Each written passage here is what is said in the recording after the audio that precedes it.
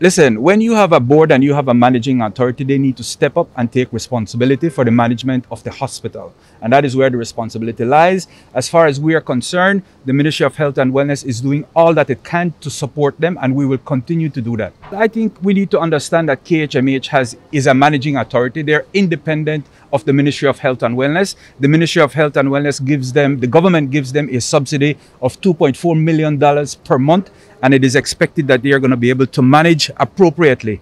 Now, the government and the Ministry of Health also provides them with medication and medical equipment. I can tell you that last week, Friday alone, we provided them with over $125,000 worth of medication.